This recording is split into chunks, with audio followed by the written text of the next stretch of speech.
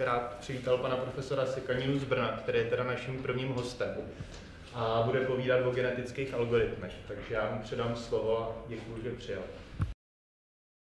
Tak děkuji vám za uvedení přednášky, taky za, za pozvání. Ještě jednou dobrý večer. A jak bylo naznačeno, budeme se bavit o genetických a evolučních algoritmech. A to konkrétně o evolučním návrhu a o vylepšování hardwareu a nakonec i softwaru pomocí evolučních algoritmů. Ten název je genetické vylepšování a samozřejmě, že v dnešní době je problematika genetického vylepšování velmi často diskutována, nejen v kontextu potravin, ale dají se modifikovat i živé organismy, máme na si zvířátka, třeba si můžete koupit rybičky, které pěkně svítí. Existuje celá řada dalších věcí, tohle je pěkná fotomontáž, která nebo fotomontáž, která ilustruje ten koncept. A pomocí technik genetického inženýrství je tedy možné měnit vlastnosti organismu tak, aby nám to určitým způsobem vyhovovalo. Otázka je, jestli to je dobře nebo špatně, to tady nebudeme vůbec rozebírat. Důležité je to, jakým způsobem se to dělá a ten princip spočívá v tom, že tyto živé organismy mají genetický kód a je možné ho modifikovat. Existuje disciplína, která se říká syntetická biologie, což se v poslední době celkem dost rozvíjí, kdy je cílem postavit živé stroje postupem syntézy a využívá se tam konceptů, které známe z návrhu programů a návrhu obvodů. A ty živé systémy, které vzniknou, pak budou mít nějaké zvláštní vlastnosti, které předtím neměly. Potom můžeme najít jakousi paralelu mezi tím, co známe z počítačů a tím, co vidíme přímo v té jedné buňce. Takže se cíleně modifikuje genetický kód buňky a když potom je počítačový inženýr, tak ten se vyjadřuje tady tímto způsobem. A když tohle stejné chceme implementovat pomocí té syntetické biologie, tak se dá najít téměř jedna ku jedna, jedna ku jedné mapování mezi tím, co dělá programátor, to, co se pak dělá v rámci toho genetického kódu, kdy máme nějaké začáteční, eh, začátek a konec toho programu, máme tam nějakou funkci a tak dále. A celý tady ten výzkum je o tom najít takové komponenty, takové kousky DNA, nachystat si je do nějakých pomyslných krabiček jako komponenty a z nich potom sestavovat živé stroje, které budou fungovat podle programu, který inženýři dají.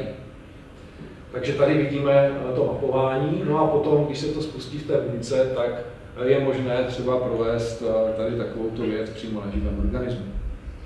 Tohle je pro nás inspirace, a genetické evoluční algoritmy samozřejmě vznikly dřív než syntetická biologie, ale myslím, že to je ukázka toho dobrá, co znamená ta genetická modifikace. Já vám ukážu za chviličku příklady genetických modifikací hardwareu a softwaru, které mají také potom ty výsledky, zvláštní vlastnosti, které původně neměly. Takže existuje v dnešní době celá řada výsledků jak v oblasti návrhu obvodů, návrhu programů, návrhu různých mechanických systémů, ale třeba i v návrhu antén a v oblasti umění, které vznikly pomocí evolučního postupu, vznikly buď modifikací existujícího řešení, po případě vznikly úplně z náhodného řešení.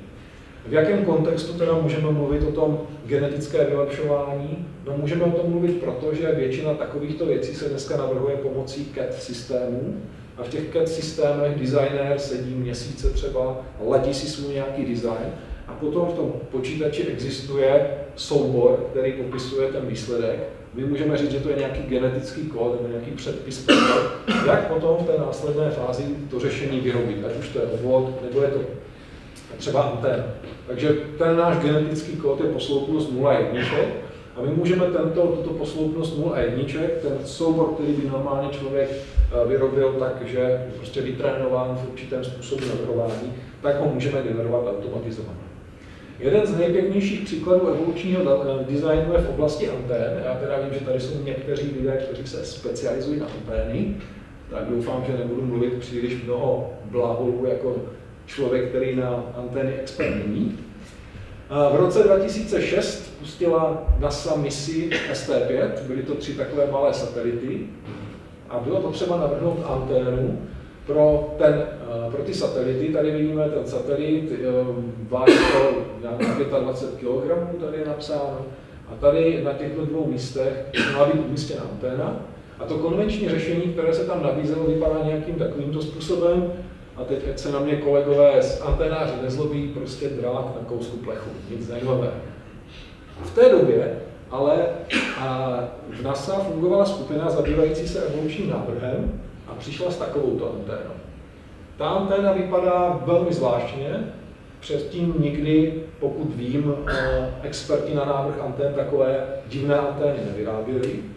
A ta anténa vznikla pomocí genetického programování, kdy se ukázalo, že ta anténa má lepší parametry, typicky lepší vyzařovací diagram, účinnost a všechny podstatné parametry.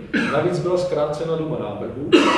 A tahle anténa, možná ne tahle ani tahle, ale velmi podobná těmto, potom byla prvním objektem, který byl použit ve vesmíru, který byl evolučně navržen. No a řekneme si dál, že existuje nějaká soutěž mezi těmi objekty, které se evolučně navrhují. A vítěz eh, v roce 2004 v té soutěži, ta se jmenuje Inmis, právě byla tady takhle evolučně navržená anténa. Ti lidé, kteří toto udělali, si potom založili firmu, která dneska funguje a provozuje evoluční návrh antén různého druhu. Dneska je velkým trendem třeba ty antény tisknout pomocí 3D tiskárny přímo podle toho designu. Takže jakým způsobem se budeme bavit o návrhu? Budeme se bavit o nějakém návrhovém systému, kdy na začátku je k dispozici seznam požadavků toho, co to má udělat, e, teda co je cílem, je to nějaká specifikace a potom chceme mít návrhový systém, který dostane tady tu specifikaci, které můžeme říkat přání, doviš anglicky, a pak zavoláme ten systém, který nám ten výrobek, ten výsledek vyrobí sám od sebe. Je to v tomhle případě nějaký digitální obchod. Jak to funguje v realitě? Místo toho džina tam máme systém evolučního návrhu, což je nějaký evoluční nebo genetický algoritmus, který generuje kandidátní řešení. Každé to kandidátní řešení je ohodnocováno pomocí simulátoru z dané aplikační domény, třeba simulátor obvodů, simulátor antén, simulátor mostů, nebo v případě, genetic, v případě evolučního umění tam sedí umělec, který říká, toto se mi líbí, toto se mi nelíbí. A výsledkem je tedy to řešení. Je to samozřejmě výpočetně velmi náročné, ale v mnoha případech to funguje. Takže problém návrhu kreativního návrhu, který je typicky charakterizován tím, že navrhuje člověk, který je vzdělaný v navrhování, má nějaké nápady. My transformujeme na problém prohledávání v prostoru možných návrhů. Ten musíme samozřejmě být schopni nějakým způsobem sestrojit. A je to typicky eh, výpočetně náročná věc. V Americe uh, existují dokonce právníci, kteří se zabývají tím, jaký je dopad takovéhoto navrhování na právo, konkrétně na patentové právo. Je pěkná knížka, který, která se jmenuje Genie in the Machine, Gene ve stroji, napsaná autorem Robertem Potkinem, právníkem, který analyzuje uh, tu situaci, kdy vlastně každý z nás by měl dispozici takový systém evolučního návrhu a jenom by řekl, co by chtěl, a ten systém by vyrobil ten výsledek a ten výsledek, když dáte potom do patentového úřadu, tak by typicky prošel celý tím procesem, protože ten výsledek splňuje všechny náležitosti toho, co, co klade ten, ten zákon. Tak co by, to, co by to znamenalo? To, co se píše v té knižce, to by bylo na jinou přednášku, ale ten hlavní problém spočívá v tom, že by vzniklo něco jako patentová záplava, a to by nebylo pro společnost dobré. Můžeme se potom třeba bavit v rámci diskuze ještě o té knižce. To, co jsem ale chtěl tady na tomhle uh, slajdu zmínit uh, také, je, že ten proces navrhování pomocí prohledávání není samozřejmě nový. Ten koncept uh, se zná samozřejmě velmi dlouho a nenavrhuje se tak, že nějaký genius, který vymyslí to řešení, ale navrhuje se prostě tak, že se zkoumá i různé možnosti, které se nabízejí. Například, jak jsem se při, v přípravě na tuto přednášku dozvěděl, tak Edison nevynalezl, nebyl první, kdo přišel s tím konceptem žárovky, ale byl první, kdo ji dokázal udělat tak, že se dala prodat a svítila dlouho. A fungovalo mu to, protože si najal tým expertů a zkoumali 6 000 různých alternativ, jak tu, a zhruba 6 000, až se tam uvádí 6 000 alternativ, jak tu žárovku udělat, zejména jak je tam použít vlákno. Takže metodou hrubé síly našli tu žárovku tak, aby to fungovalo. Dobře, pojďme se tady podívat, co to je ten prostor možných řešení a pojďme se podívat, jak to funguje. Možná, jestli můžu někoho poprosit, kdyby trošku zasnul, je to lepší. A my rozlišujeme tady v těch úlohách evoluční optimalizaci a evoluční design.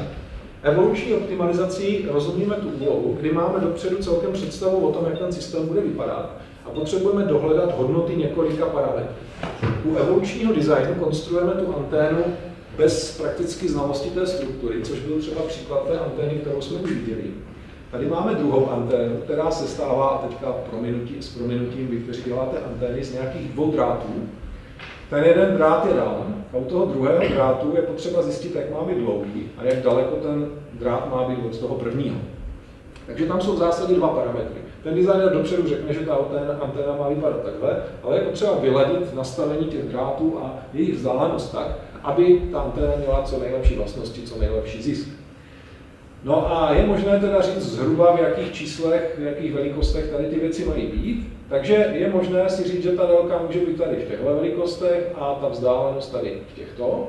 A je možné si hrubou silou propočítat všechny kombinace za předpokladu, že třeba řekneme, že tady je 2 na 7 možností a tady taky 2 na 7 možností. Dohromady teda máme 2 na 14, což je přes 16 000 různých možností. A pomocí simulátoru antén si zjistit, jak to dopadne a vidíme tady ten prostor možných řešení.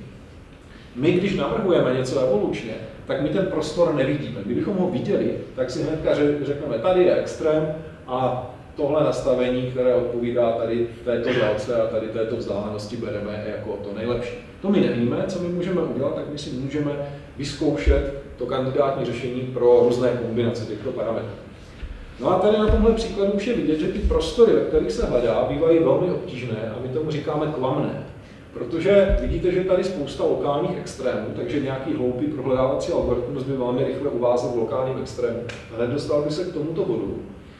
A navíc problém je třeba to, že hnedka vedle nebo velmi blízko tady tomuhle globálnímu extrému je extrémně špatné řešení. Takže co my tady hledáme v tomhle případu, v, tomhle, v téhle úloze, hledáme vlastně dvě čísla.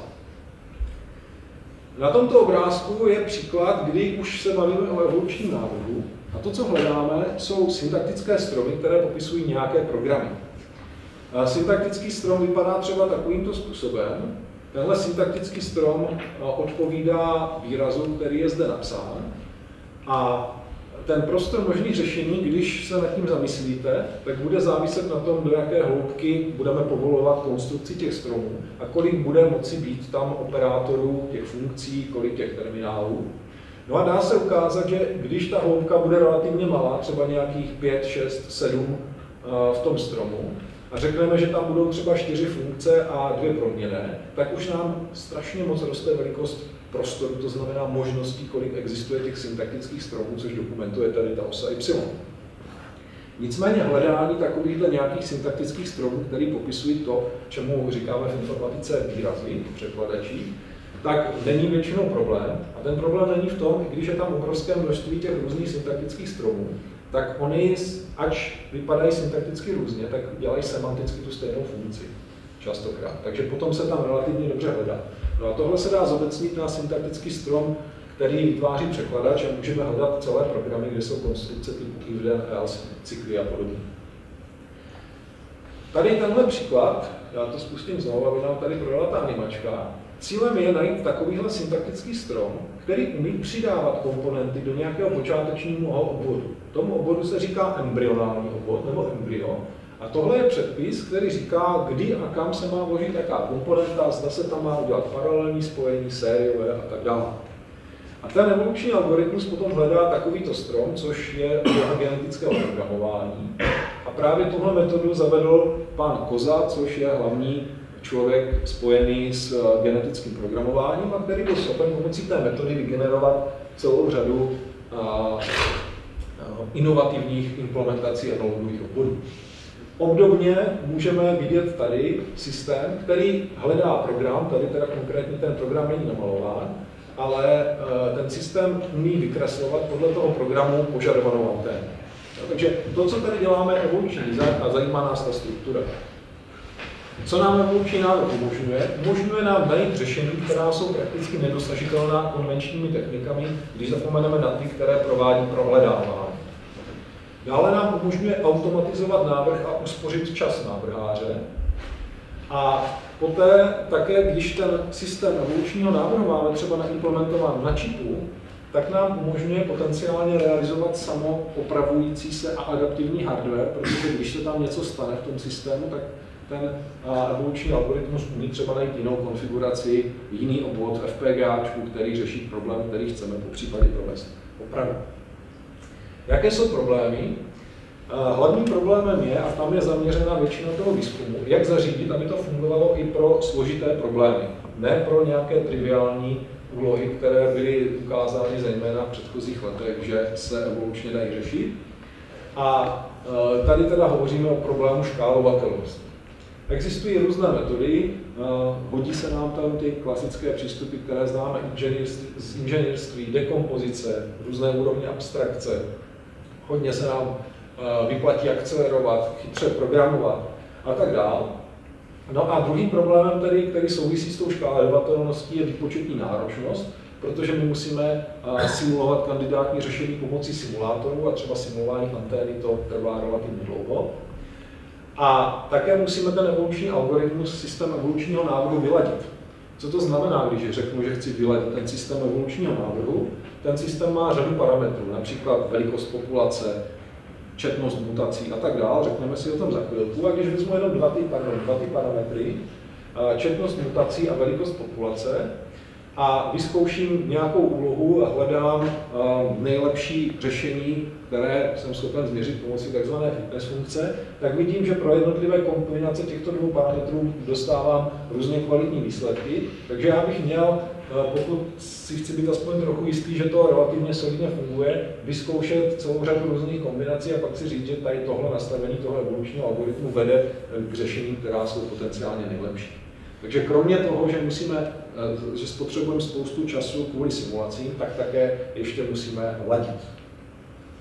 Od roku 2004 je na konferenci GECO, což je nejvýznamnější v oblasti evolučních algoritmů, pořádána soutěž, která se jmenuje UMIS, kde soutěží evolučně navržené věci s, eh, mezi sebou. A cílem té soutěže je ukázat, že pomocí evolučního algoritmu umíte eh, navrhnout něco, co dříve bylo ukázáno, že eh, navrhují, nebo že, že je velmi kvalitní, když to navrhnou lidem.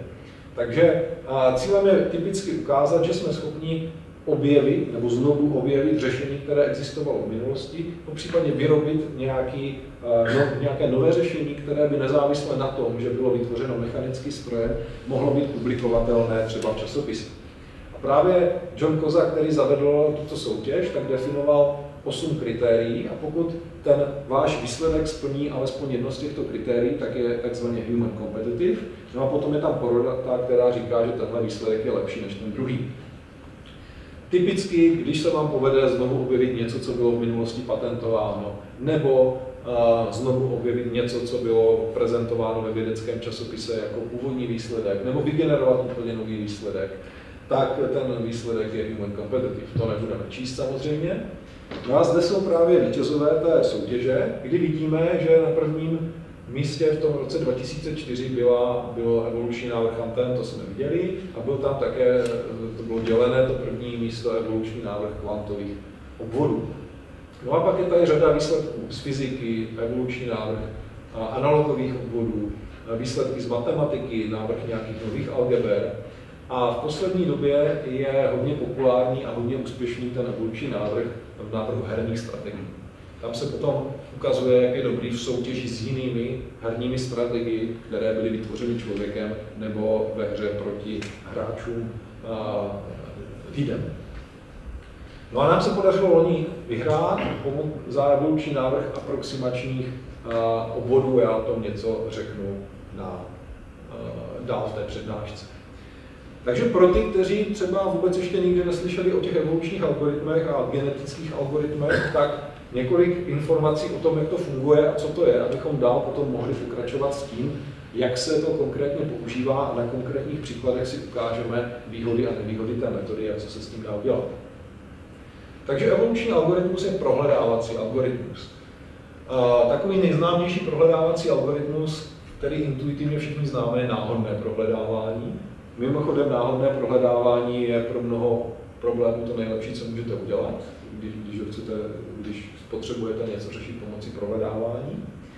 Ale ten evoluční algoritmus používá populaci kandidátních řešení, to znamená množinu kandidátních řešení, a k vytváření nových kandidátních řešení používá inspira, eh, operátory inspirované v genetice, jako je křížení, mutace, selekce a tak dále. Ty evoluční algoritmy, ten termín vlastně evoluční algoritmus je zastřešující termín a zastřešuje různé přístupy, které vznikly nezávisle na sobě v historii, jako jsou genetické algoritmy, evoluční strategie třeba v Německu, evoluční programování a to genetické programování je potom taková novější varianta. A ti lidé, tady ty skupiny, které rozvíjely ty jednotlivé eh, algoritmy, mezi s osoby ani nevěděli, měli samostatná setkání a až začátkem 90. let začali spolu komunikovat a začali, vyrobili konference, kde se začali scházet všichni, protože zjistili, že principiálně dělají podobné věci. Takže animace, která vysvětlí, jak to celé funguje. Máme populaci, teda množinu kandidátních řešení a předpokládáme, že jsme schopni každý řešení nějakým způsobem kandidátní zakódovat. Viděli jsme třeba příklad té anteny, jak by to šlo udělat. Potom musíme použít takzvanou fitness funkci, která nám ohodnotí, jak dobré je každé to kandidátní řešení. To znamená, řekne nám nějaké číslo, který udává kvalitu toho kandidátního řešení a typicky my to kandidátní řešení musíme nejdřív postavit podle toho genetického kódu a pak ho odsimulovat. Potom získáme ohodnocená řešení a jedinci, kteří mají lepší skóre, tak mají vyšší šanci, že budou rodiči následující generace a takže se vyberou nějakým způsobem a nad těmito vybranými jedinci potom probíhají genetické operátory. Když my máme třeba tady nějaké dva řetězce, tak nejjednodušší operátor křížení je jednobodové křížení, kdy my ty řetězce takhle rozřízneme a ten nový jedinec, který vznikne, tak má první část z prvního rodiče a druhou část z druhého rodiče. A ten druhý jedinec, který vznikne z těchto dvou rodičů, má první část z druhého rodiče a druhou část z prvního rodiče. Operátor mutace potom dělá to, že když má nějakého jedince, tak velmi malou pravděpodobností změní část toho jedince. A třeba změní, zinvertuje byt, když tady byla jednička, tak z toho udělá nulu.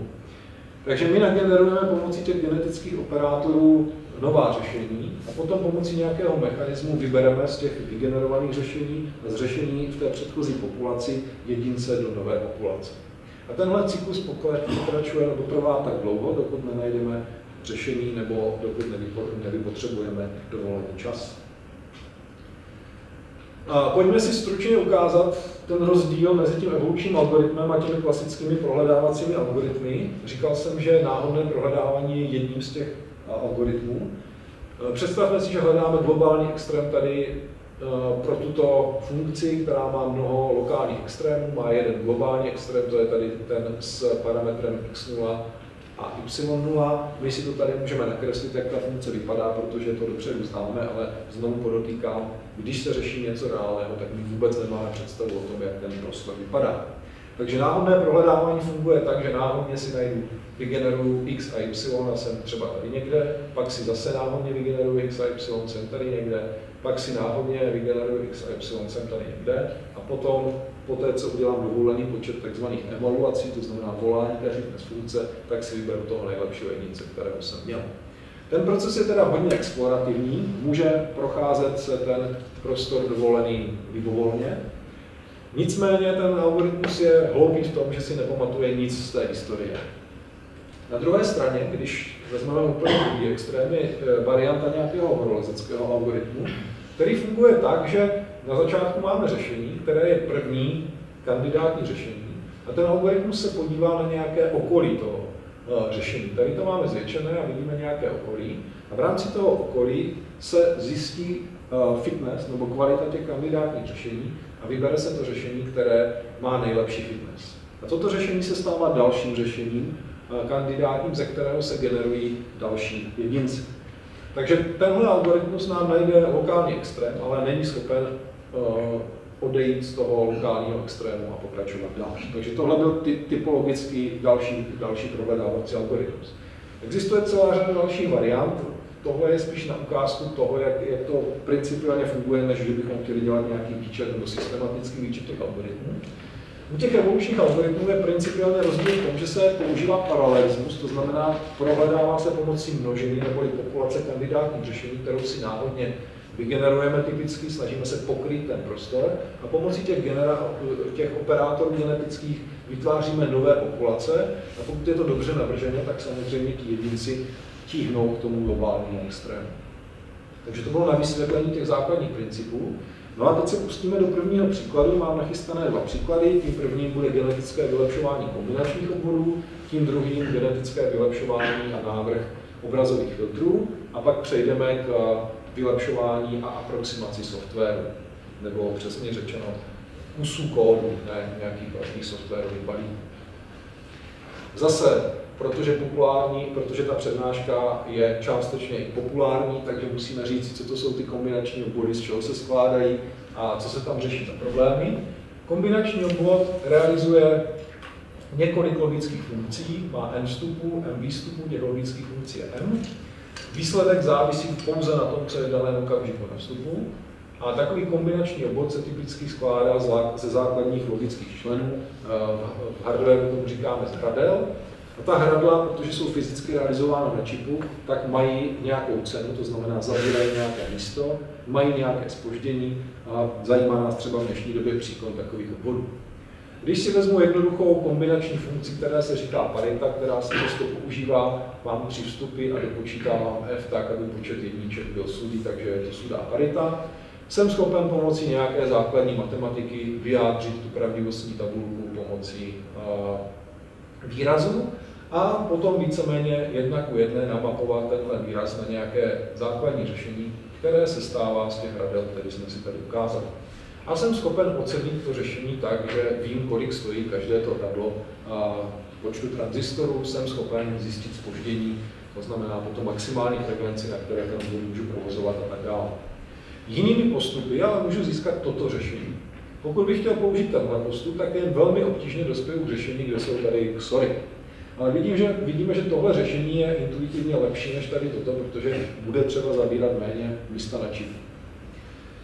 Takže ten problém, který my tady řešíme z pohledu návrhu, je, že my typicky umíme vyrobit různé implementace, které se liší tím, že některé jsou lepší třeba v té oblasti, eh, mají malé spoždění, to je třeba ten robot, ale zase zabírají hodně místa na čipu, nebo na druhé straně máme řešení, která zabírají málo místa na čipu, ale mají větší spoždění. Takže typicky u tady takovýchhle obvodů je trade-off nebo kompromis mezi plochou a spožděním.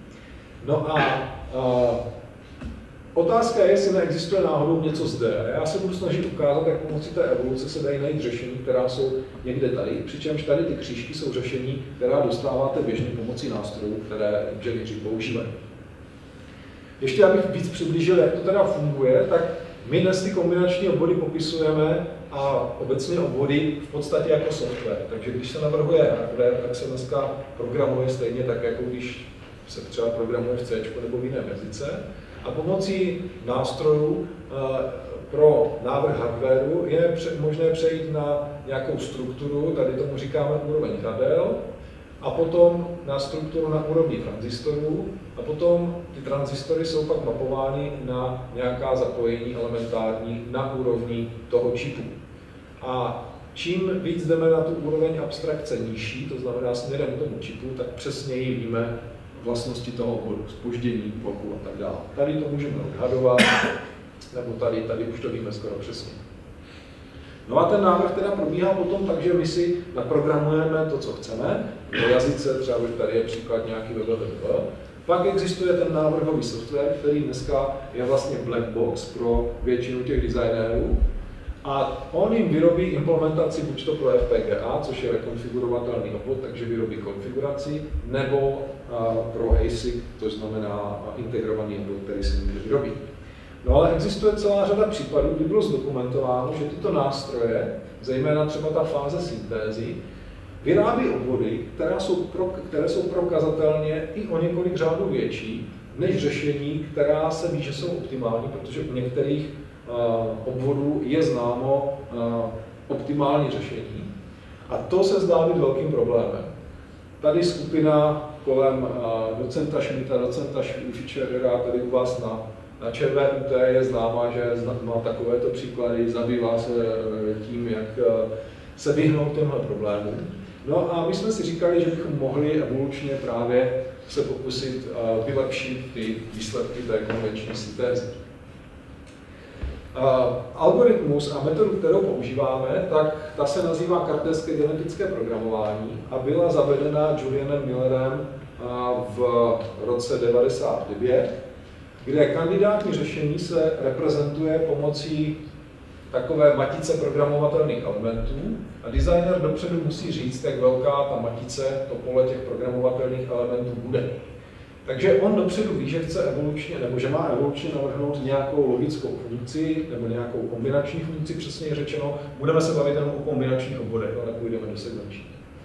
A tohle je specifikace třeba jednobitové úplné sčítačky, kde S je součet a D je přenos výstupní. Uh, takže my zhruba si řekneme, nechtě tam třikrát tři těch radel, víme, že jich budeme potřebovat méně, ale nějaká redundance to tomu vůbec nevadí. Řekneme si počet primárních vstupů, počet primárních výstupů, Zavedeme tam unikátní číslování, takže všechny primární vstupy se očíslují, očíslují se všechny výstupy těch hradel. A jsou dovolena taková propojení, která nevytváří smyčky, to znamená, když jsem tady v téhle úrovni, třeba tady, tak se můžu připojovat jenom na výstupy hradel v předchozím sloupci a na primární vstupy, nemůžu se propojovat třeba no, odsud, nemůžu dělat zapojení. Potom je definováno jednoznačné zakódování každého obvodu a to tak, že pro každé to hradlo, nebo pro každý ten programovatelný element mám tři, tři čísla. To první mi říká, kam je zapojený první vstup, to druhý, kam je zapojený druhý vstup a to třetí je kód toho hradla.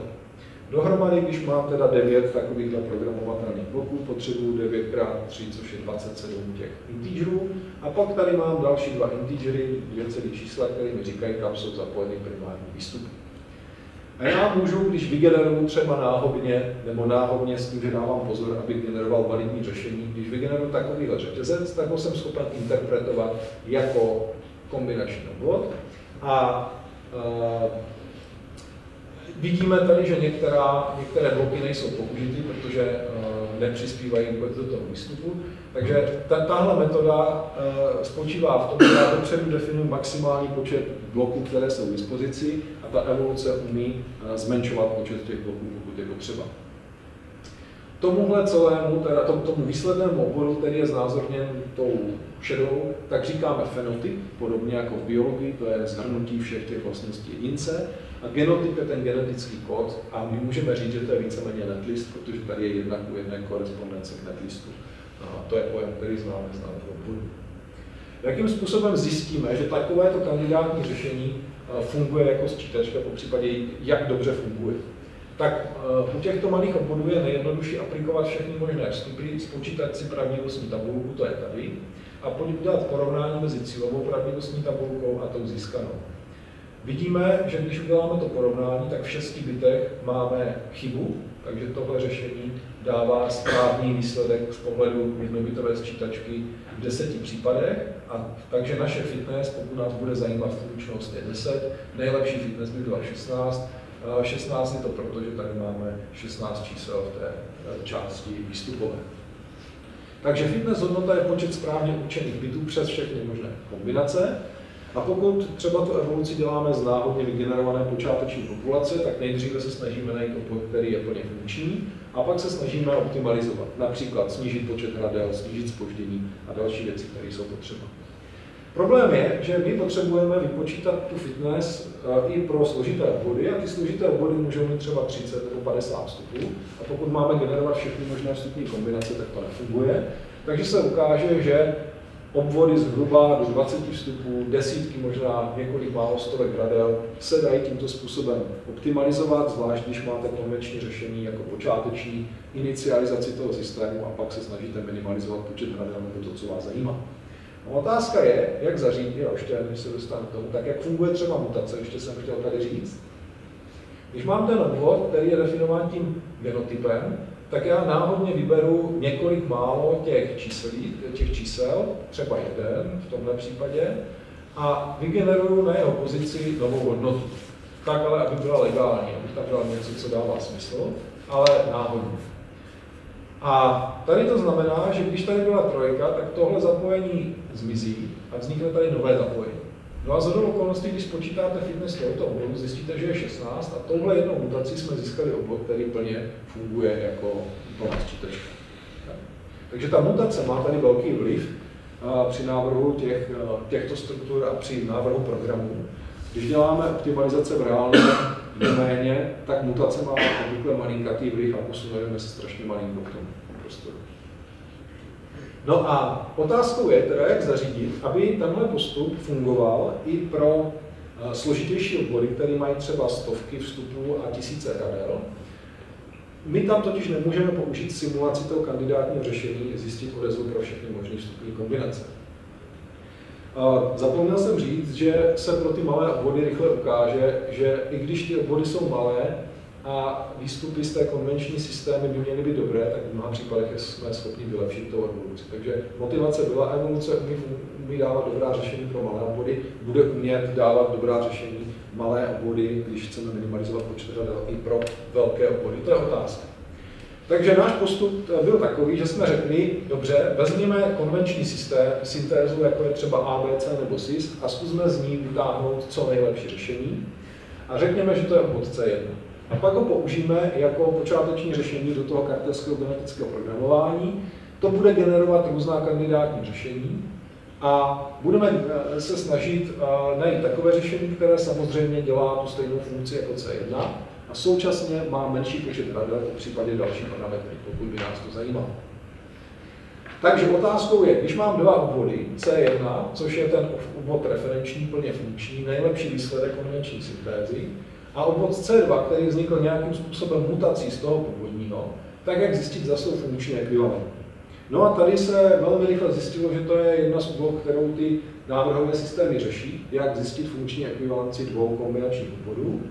A jedním z možných řešení je převést tuhle úlohu na tzv. SAT problém, který známe z teoretické informatiky. Takže my převedeme tento problém na SAT problém. A pokud zjistíme, že tyhle dvě struktury jsou funkčně ekvivalentní, jakože na tomhle obrázku je asi na první pohled vidět, že nejsou, tak pokud by byly, to znamená mutace toho původního řešení by byla funkčně ekvivalentní s tím původním řešením, tak fitness, kvalita toho bodu bude dána počtem radel a budeme se snažit minimalizovat počet radel. Lukáš, já bych řekl, že jsou jako...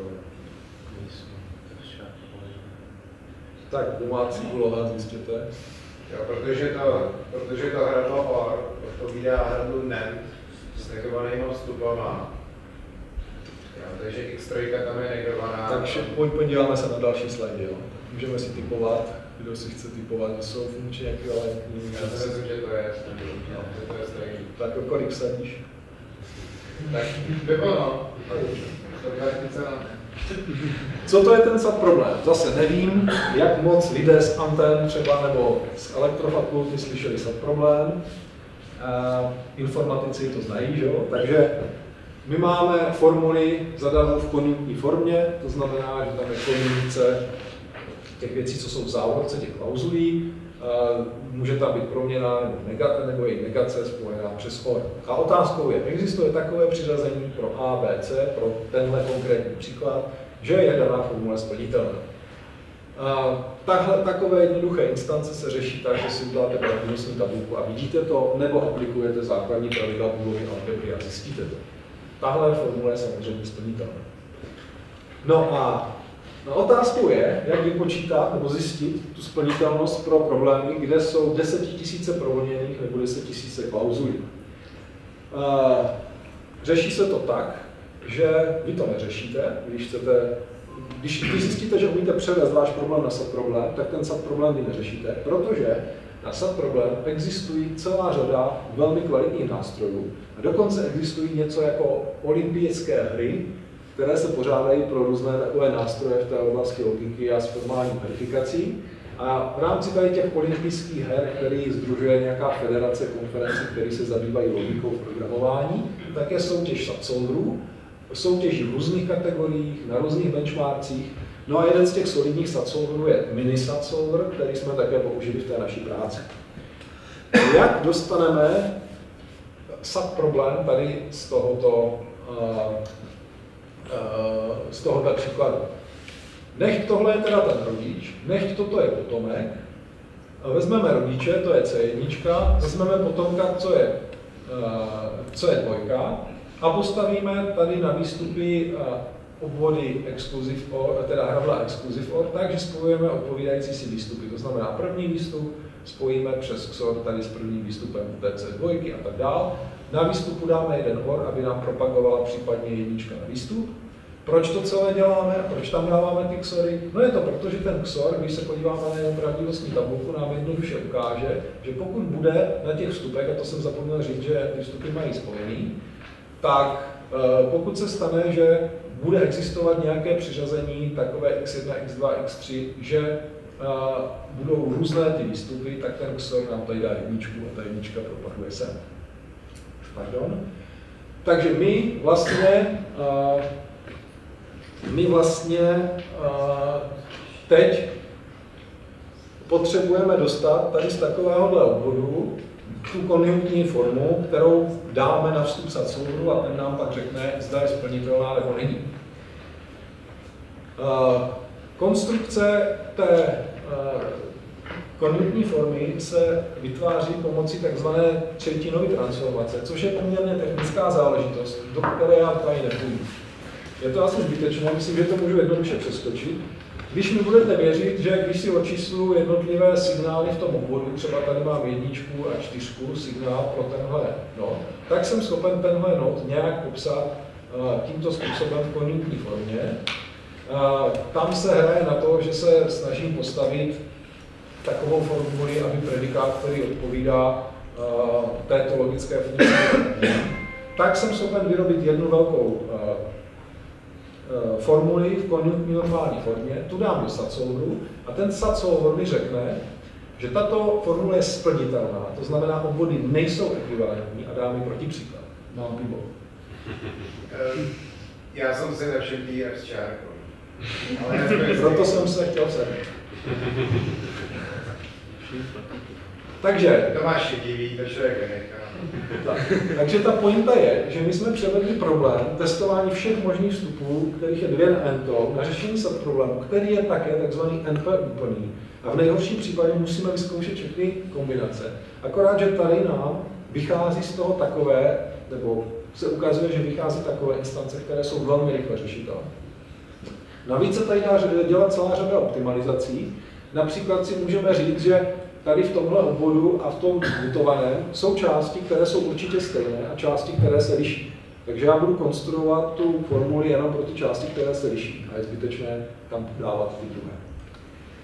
No a my jsme měli článek jednak v časopisu a jednak také na date konferenci před několika lety, který ukazoval, že když vezmeme Obvody, které už jsou relativně velké, mají tohle počet primárních vstupů, toto je počet primárních výstupů. Toto jsou nejlepší výsledky získané pomocí SIS, toto nejlepší výsledky získané pomocí ABC.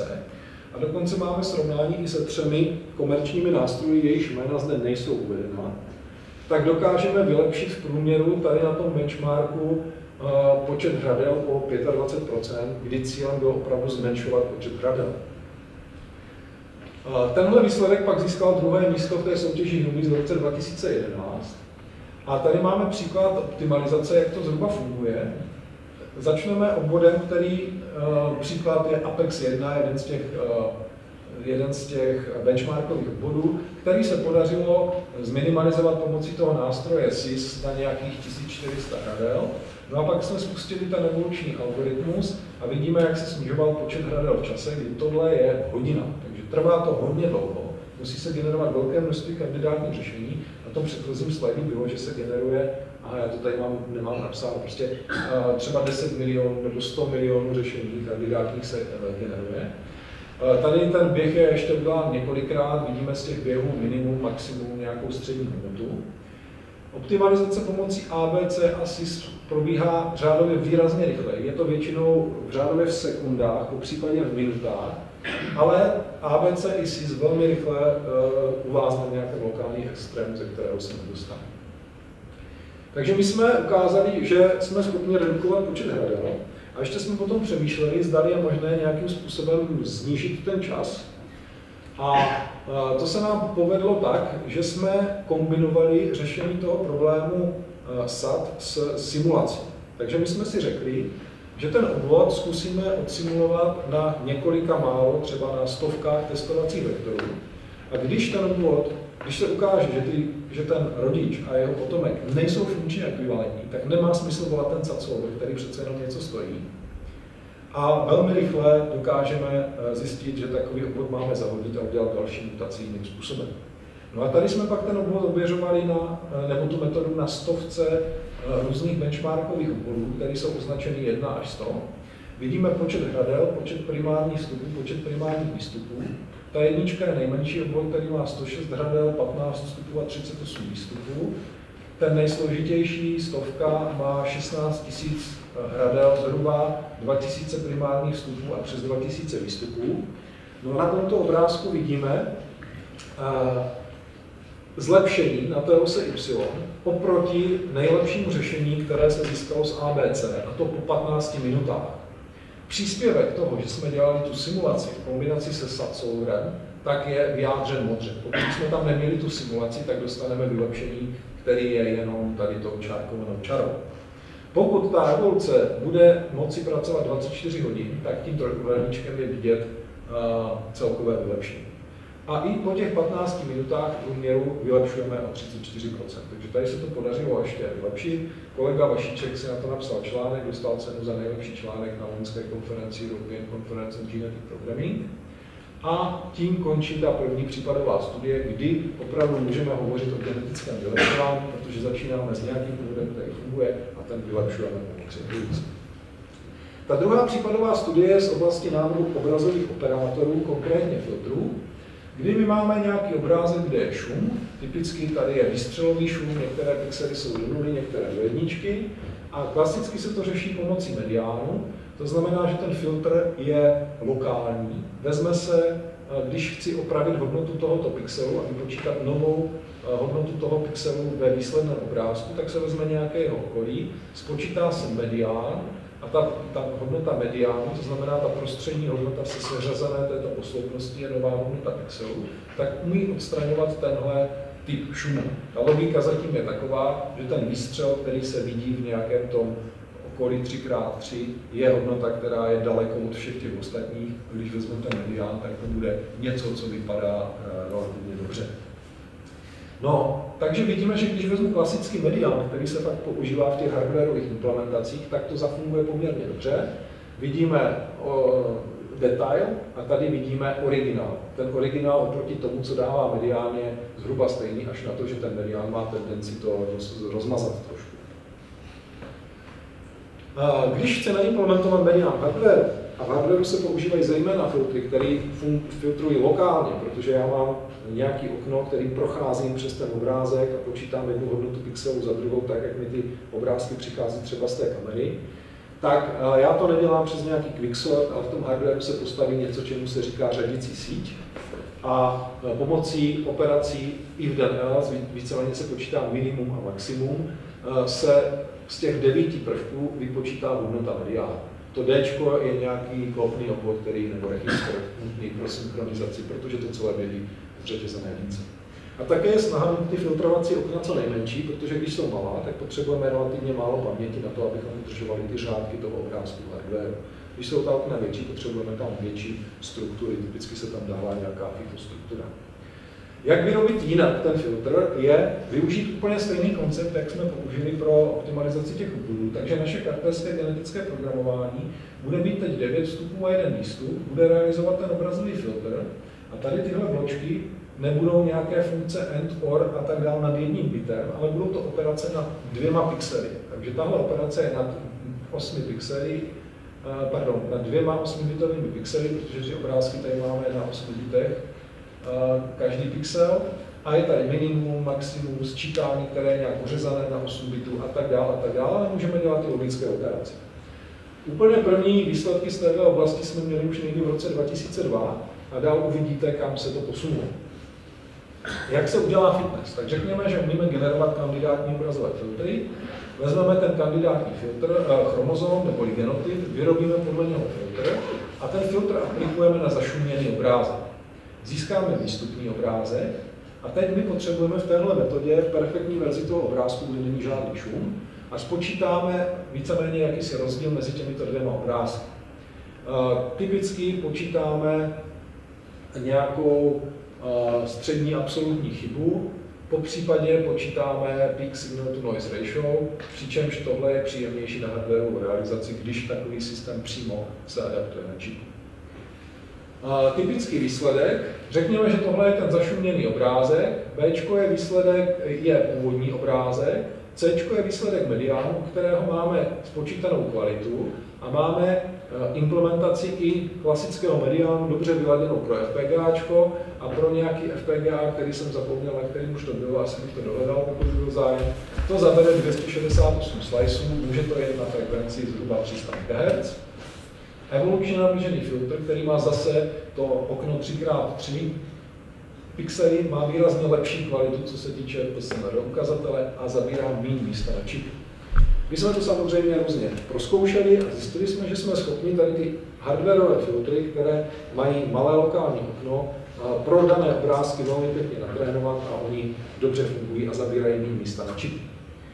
Eh, to srovnání se pak třeba dá udělat tak, že vezmeme sadu nějaký obrázků, tady jich máme 25, spočítáme průměrnou hodnotu PSNR. V tomhle případě tady máme různou intenzitu šumu a vidíme výsledek evolučně navrženého filtru, který je zde, to znamená pro nízké intenzity šumu to funguje velmi pěkně.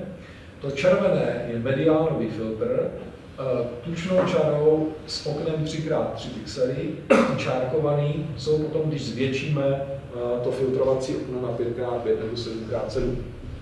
Mnohem lepší než normální medián je realizovat tzv. adaptivní medián, což je několik, řekněme, mediánů, který fungují nad různou velikostí toho okna a z toho se vybírá nejlepší výsledek. Takže v hardwareu to pak dopadá tak, že to je poměrně drahé, ale funguje to líp než normální medián a občas se to taky používá. Nejsme schopni dosáhnout kvality tady tohoto řešení, který je třeba popsán tady v tomhle článku, protože tohle není eh, koncept lokálního filtrování. Tady se používají proto, abychom odstranili ty eh, chybné pixely, celé, celá řada dalších pixelů z celého obrázku, nejenom ty 3x3. Co se stane, když zvýšíme tu intenzitu šumu? Víme, že nám to tam moc nefungovalo, takže tohle je obrázek 40% SUL a PEPS. A teďka, když použijeme klasický medián 3x3, vidíme, jak to dopadne. Ten adaptivní medián funguje už poměrně solidně, zejména s tím oknem 7x7, ale i s oknem 5x5 funguje celkem solidně.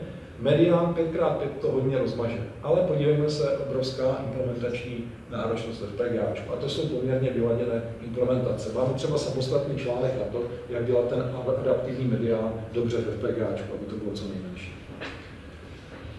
My jsme přišli s tím, že můžeme evolučně navrhnout filtry. My jsme vlastně při naší evoluci navrhli prostě stovky různých filtrů, to vám generuje samo a máte pak databázi filtrů. A my jsme řekli, nech těch několik, třeba čtyři filtrují paralelně, a ten výsledek se vezme buď to pomocí mediánu nebo pomocí nějaké jednoduché if then else. A tahle struktura, která je samozřejmě pak složitější než jeden medián nebo jeden evolučně navržený filtr, ale má pořád 9 vstupů, funguje celkem dobře. Tady už mám prozrazeno, že ten výsledek evolučně navržený prošel Českým patentovým úřadem a máme patent na evolučně navržený filtr. A když se podíváme potom na výsledek, tak porovnáváme banku evolučně navržených filtrů, který má eh, okno 3x3 pixely na tom původním, na různých obrázcích s tím 40% šumem.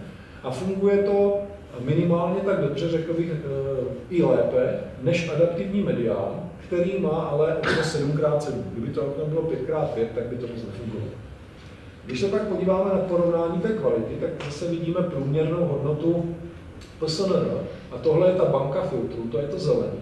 A vidíme, že jsme výrazně lepší než ty mediány, ty adaptivní mediány, ale pořád nejsme na té kvalitě toho řešení, který nepoužívá koncept lokální filtrace.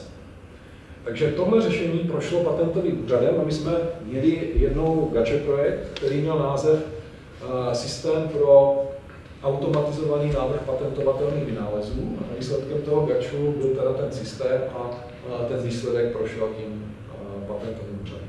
Otázkou je, jestli má význam dělat takovéto patenty, protože pointa patentů, samozřejmě pro řadu firm pointa patentů je mít ty patenty tak, aby mohl se porovnávat s jinou firmou, že já mám 30 tisíc patentů a oni mají jenom 700, takže já jsem lepší.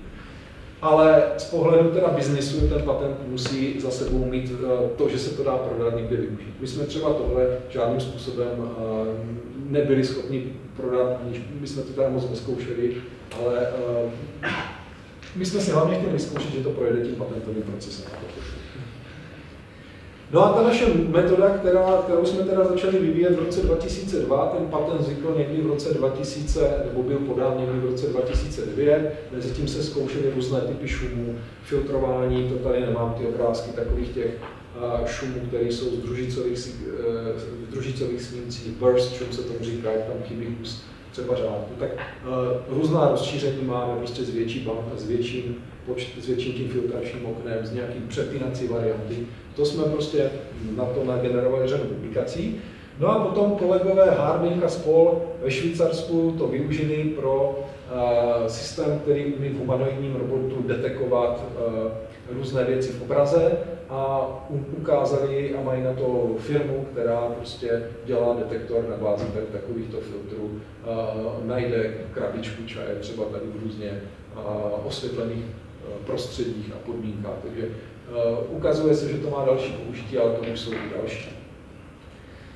No a teďka krátká informace o tom, jak tohle celé se dá dělat přímo v FPGAčku. Zatím jsem se bavil, jsme se bavili tím, že za těmi řešeními byl typicky nějaký klaster, který máme na FITu, na FITu v Brně, kde jsou stovky jader k dispozici, na který počítáme typicky tak, že jeden experiment děláme ve 100 kopiích, protože se to potřebuje nějak vyhodnotit. Jeden experiment běží třeba 12 hodin, takže za 12 hodin máme 100 výsledků evoluce.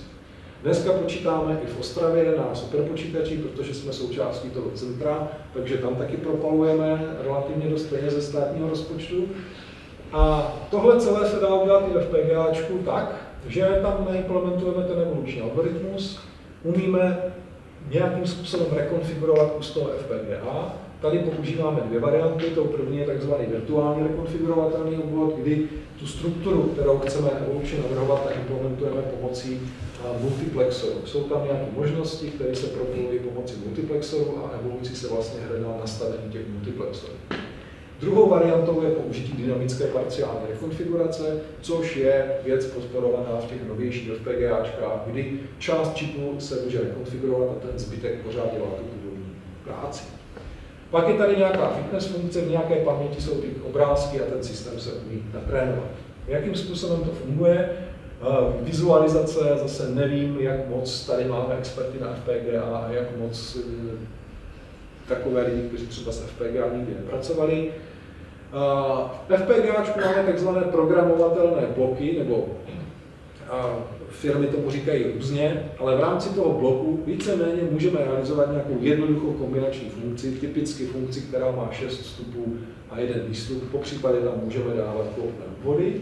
A dneska takovýchhle bloků tam můžeme mít tisíce nebo desetitisíce, takže realizovat velmi složité vody. Je tam definováno propojení a víceméně pomocí konfiguračního souboru, který do FPGA nahrajeme, definujeme logické funkce těch bloků a jejich propojení. Současně můžeme mít na tom čipu dneska k dispozici procesory a další takzvaná hardmakra, to znamená obvody, které tam jsou vypálené na tohle, protože se ví, že se hodí programátorům nebo designérům, procesory, paměti, násobičky a tak dále. No a my tam nahrajeme nějakou konfigurační informaci, která nám může ty procesory můžou být taky vyrobeny z té programovatelné logiky, takže my můžeme nahrát konfiguraci, která řekne, a teď tady se udělá procesor. Takže tady se může udělat nějaký procesor, na kterým běží evoluční algoritmus, nebo ten evoluční algoritmus může být zadrátovaný a ten nám bude generovat, bude se generovat v této oblasti, která je vyhrazená kandidátní řešení. To se bude ohodnocovat pomocí nějakých obrázků, které jsme si tam nachystali. Spočítá se fitness a procesor generuje další kandidátní řešení a další kandidátní řešení.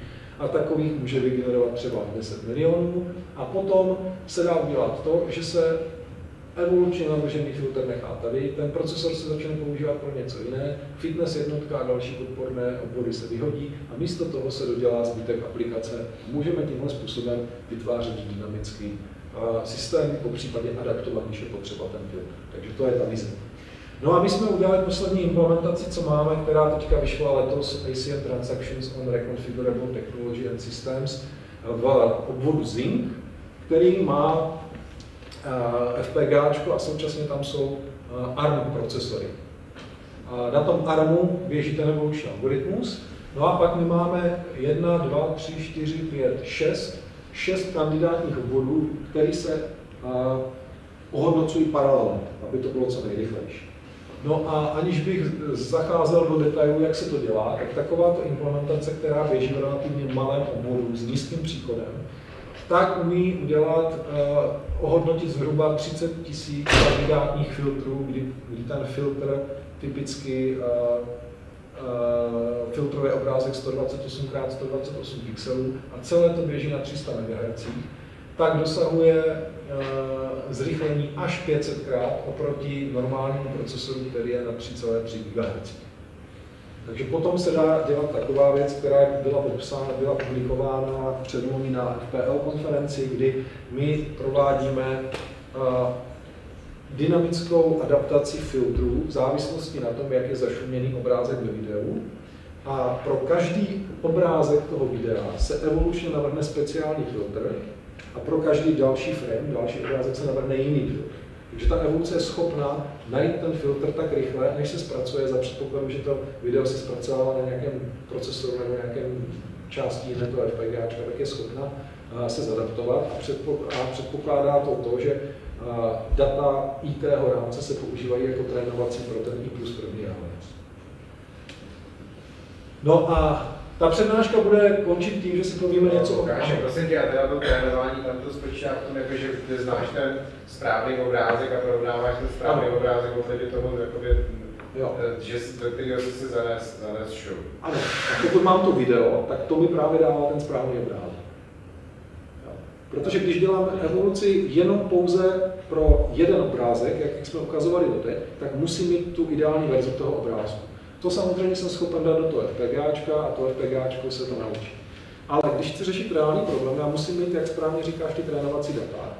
A ty já mám, protože já mám to video a můžu použít jednotlivé snímky v tom videu proto, abych prováděl trénování za předpokladu, že se neliší o moc charakterem toho obrazu.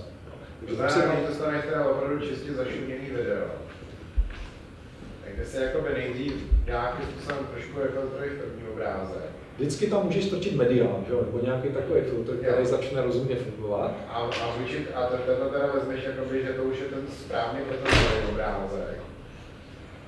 A e, podle toho uděláš teda nějaký lepší filtr, tak to třeba po několika týdcích můžeš potom dospět nějakému jako relativně dobrýmu, dobrýmu filtru, i když máš jako vlastně celý video od začátku do konce zašuní. E, je to jedna z variant, jak se to dá udělat. Jo. Já bych to pokračoval, pak samozřejmě V poslední době se objevuje oblast, která se říká approximate computing, přibližné počítání. My jsme se do toho snažili proniknout a o čem to celé je? Dneska je velký požadavek na to, aby systémy byly nízkopříkonové, low power. A zjistilo se, že u řady aplikací, jako je typicky vyhledávání v dokumentech, zpracování videa a tak dále, tak není úplně potřeba počítat přesně, protože my stejně jako lidé nepoznáme, že to je špatně spočítané. Když dám do Google, ať mi uh, vypíše, kolik je odkazů UT v Praze a objeví se tam nějaké číslo, a teďka nechci urazit FitChV UT v Praze, napíše tam třeba 157 tisíc, tak je jedno, jestli tam bude 157 tisíc nebo 157 203. Takže tahle úloha typicky, a stejně tak jako ty předchozí, co jsem ukázal, zpracování těch obrázků, vychází z toho, že tam je zbytečně počítáno spoustu věcí, abychom dostali přesný výsledek. A přitom bychom se spojili, spokojili s horším výsledkem, který stejně nepoznáme, že je horší, za předpokladu, že bude potřebovat jenom polovinu energie k tomu, abychom dospěli k tomu řešení. Zejména pro mobilní telefony je to zajímavá věc. No a existuje nějaká analýza, kdy, která říká, že když se podíváme na aplikace tohoto typu, tak zhruba 83% běhu to běží na softwaru, teda v tomhle případě, se dá aproximovat, aniž by uh, ta aplikace spadla. Těch 17% je, že by se porušily nějaké podstatné řídící struktury. A otázkou je, jak najít rozumný kompromis mezi kvalitou výpočtu a tou chybou a tím příkladem. My jsme právě použili ten náš evoluční postup k tomu, že jsme řekli, dobře, medián je klasická implementace, která se realizuje v těch čipech, a řekněme, že budeme snižovat počet komponent, a ten medián se staví z komponent minimum a maximum. Že budeme snižovat počet komponent, které jsou potřeba, a budeme hledat kompromis mezi počtem komponent a kvalitou filtrace. Zkoušeli jsme samozřejmě to na nějakých datech, a tady ten obrázek ukazuje, že na xové ose je počet komponent a čím méně tam těch komponent, tak nám roste chyba. To je tady tohle pro nějaký trénovací data. A pak ty mediány byly syntetizované uh, přes SIS s nějakým odhadem příkonu. A tady vidíme, jak nám klesá příkon, kdy řešení, které je plně funkční, má nulový, nulovou úsporu uh, v příkonu. A tady vidíme, že třeba řešení, který uh, má zhruba 60% těch eh, komponent, tak dosahuje jakési chyby a má eh, redukci příkonu o 40 No a když se potom podíváme, eh, takový řešení odpovídá nějakému softwaru, kdy, pardon, jo, nějakému kódu, kdy v tom kódu se vlastně realizuje ta řadící síť. Ta řadící síť se nerealizuje, nebo to, to řazení se nerealizuje quicksortem nebo bubble sortem, protože to je drahé, takže se to dělá víceméně nějakým if then else, hodně zvolenou posloupností if then else.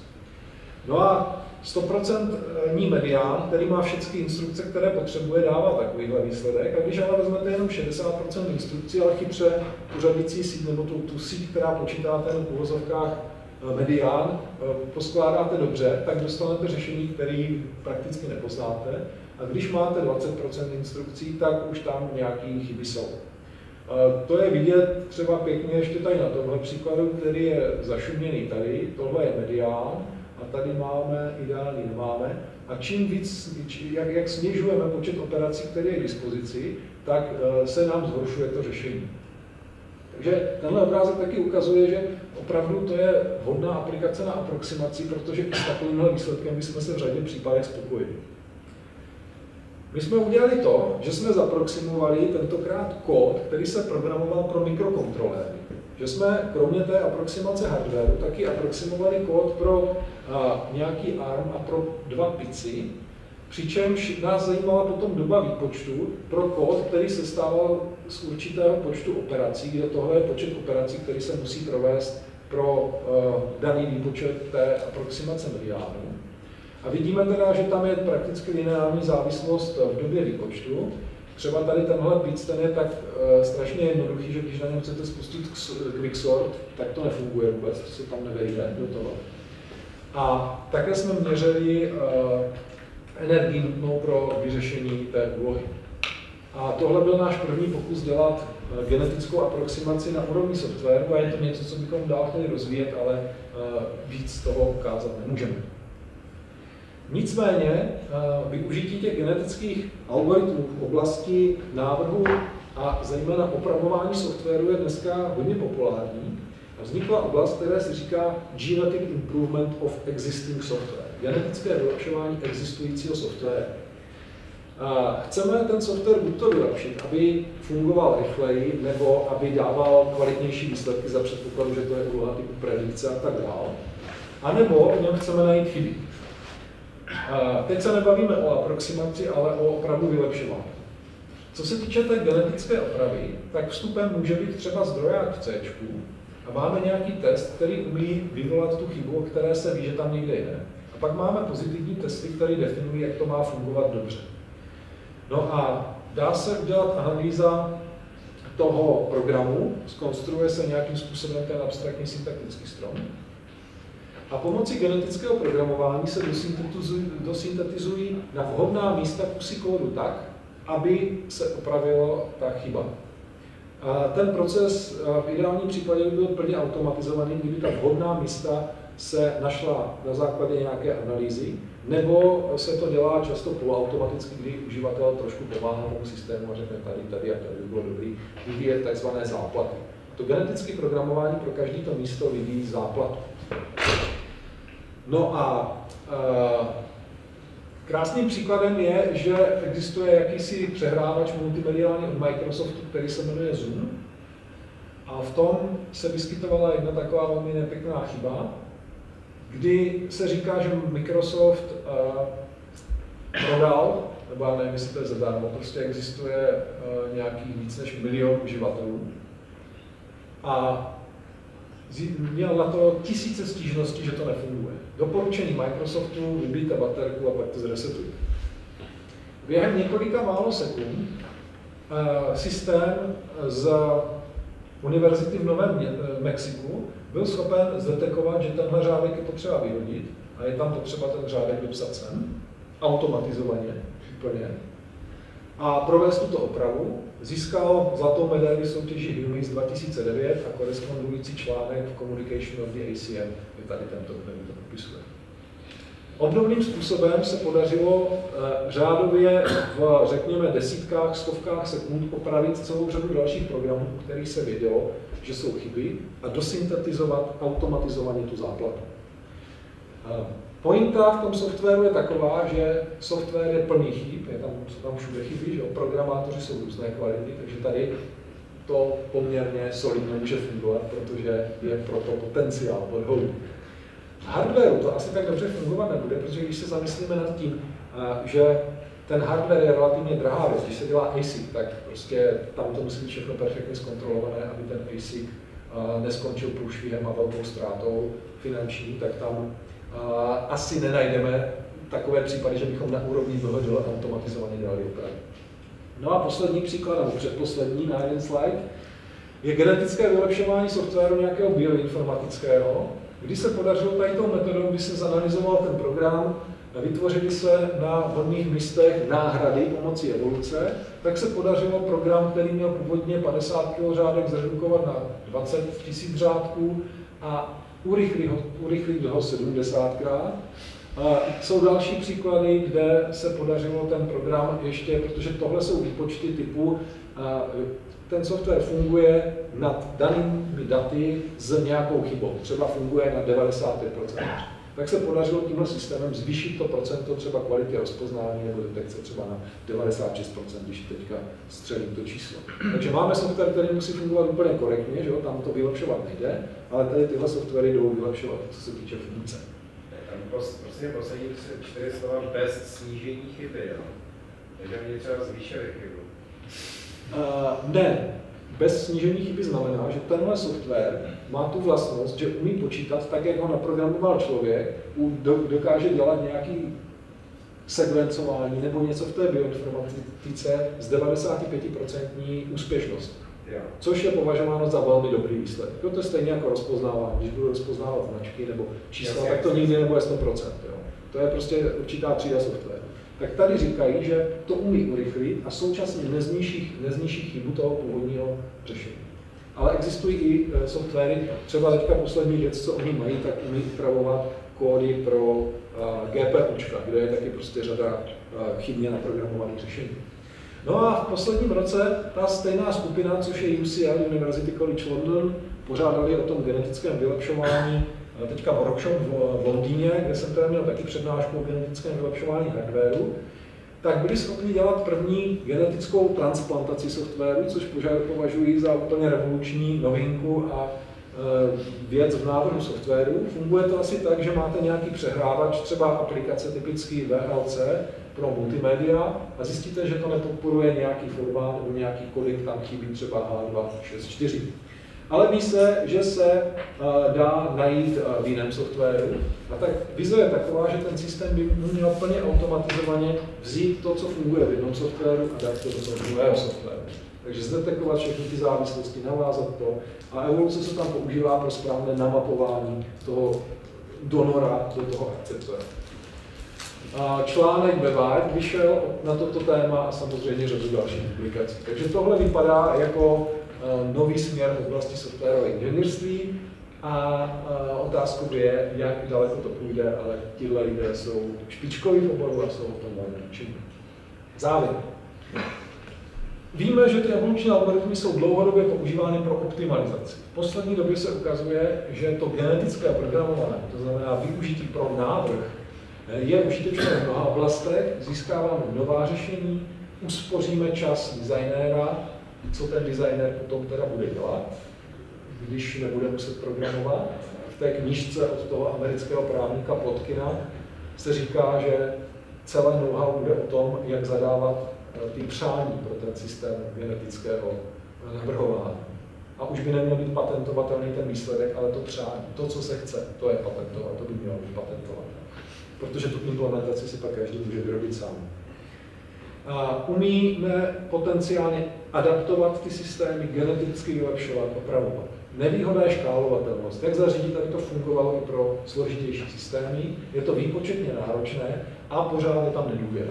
Jak to, že ten evolučně navržený systém teda fakt funguje pro všechny případy, a že tam nejsou nějaký případy, kdy to bude dělat nějaké efekty a tak dále. No a nejnovější trendy aproximační počítání, to nás silně zajímá, genetické vylepšování existujícího softwaru, také třeba pro nás, pro mikrokontroléry, transplantace klonů, to jsme se ještě ani nepokoušeli. A tyhle výsledky, které jsem vám ukazoval, jsem samozřejmě nedělal já. Já jsem eh, vedoucí tady té výzkumné skupiny, která má v současné době tři akademické pracovníky a řadu doktorandů a studentů. Podílíme se na tom superpočítačovém centru, které je v Ostravě a jsme financováni zejména z projektu Grantové agentury České republiky. Děkuji za pozornost.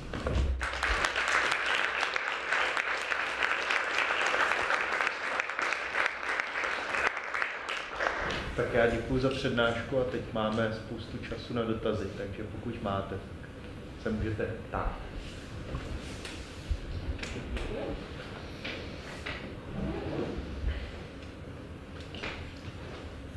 Petr už se vyčerpal. Martin, teda, Martin.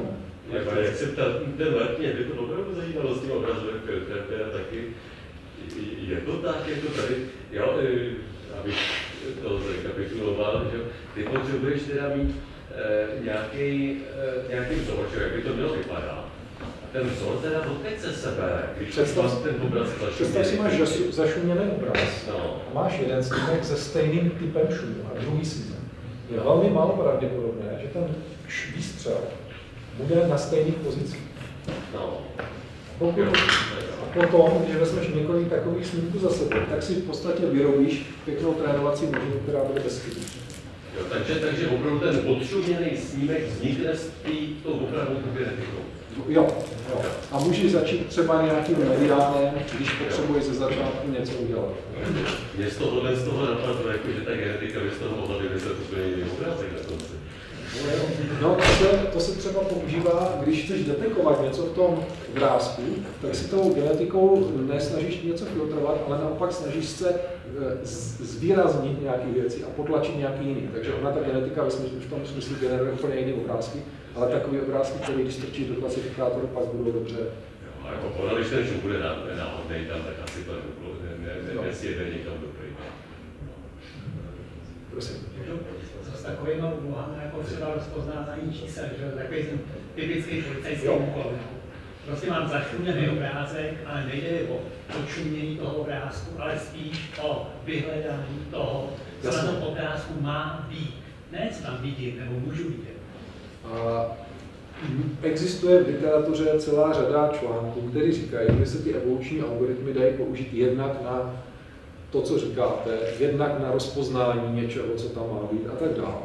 Nicméně si myslím, že a, bychom museli najít dobře ten konkrétní případ, ve kterým bychom byli schopni pobít state of the art, který může být reprezentován třeba systémy, které zrovna u vás na fakultě se ve špičkové kvalitě vyrábí a dokonce prodávají a dokonce nejmenované firmy je reálně nasazují tady v těch kamerách, co máte po Praze a rozpoznávají ty SPZky.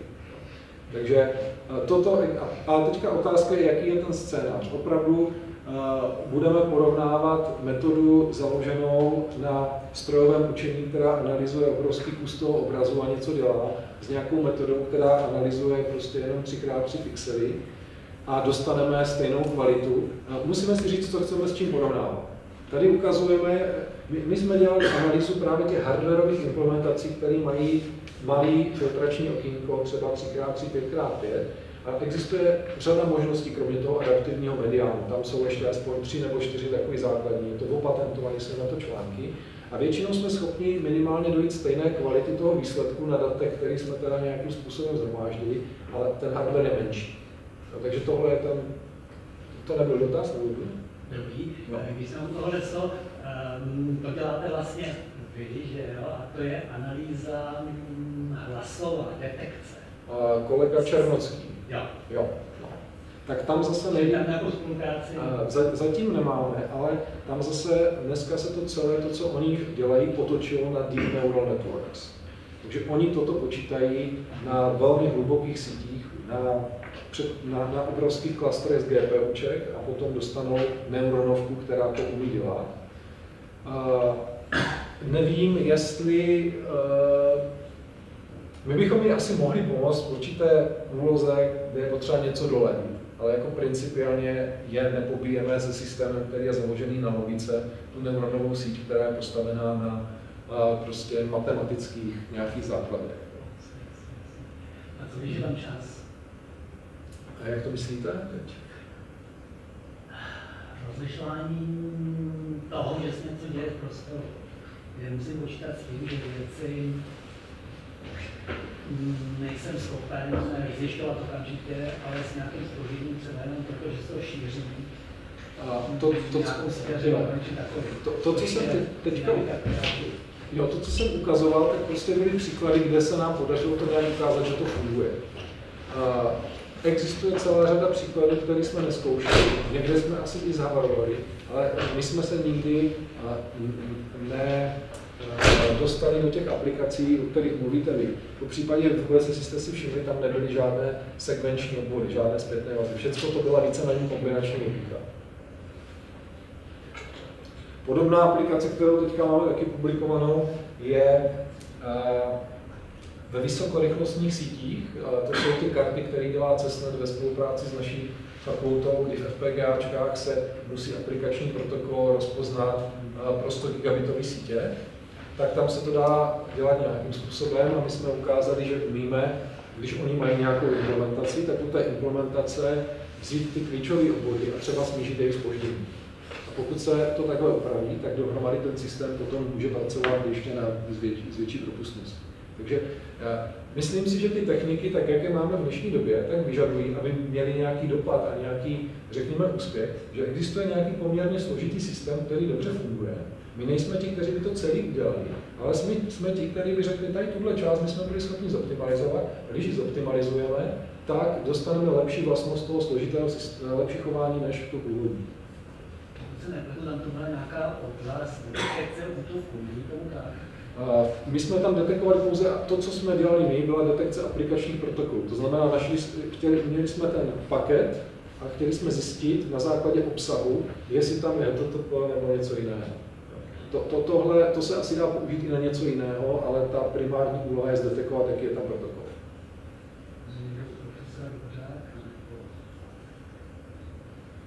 To ne. To asi ne. To dělá Honza Kořen. A Inve. Bych teda, já nevím, jestli to může Ty naši kluci, že?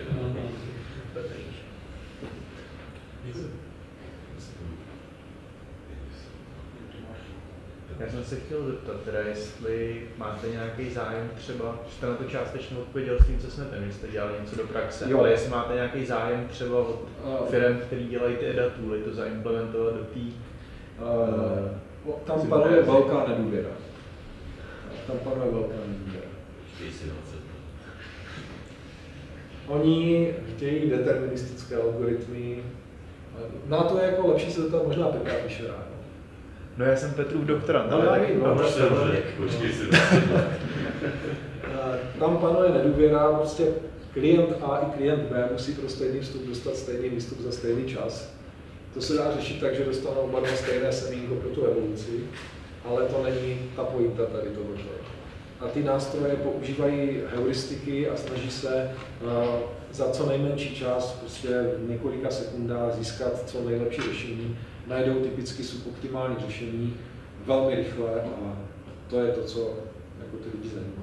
Možná, kdybychom měli nějakou silnější podporu od nějaké firmy třeba a byli jsme schopni, mám na mysli tady zaangažované v této oblasti, a byli jsme schopni říct, tak tady jste dělali návrh čipu a u toho čipu jsme zredukovali spoždění a velikost těch komponent tak, že teď dohromady eh, ten čip zabírá prostě o třetinu méně místa a, nebo ten design zabíral třetinový místa a jde to na frekvenci o 30% větší a oni to prodali milionkrát, tak. Máme teďka je date za 14 dní v, v Gážďanech, Design Automation Test Conference, obrovská. Máme tam poprvé tutoriál na téma využití evolučních algoritmů v těchto oblastí. Tutoriál půldenní, ne nějaký jako malý, takže poprvé jsme se takhle se tam prezentovat. Dá se evolučním algoritmem optimalizovat program pro evoluční optimalizaci? No, z okolností to můj diplomant teďka řeší, kdy se snaží geneticky vylepšovat kartelské genetické programování.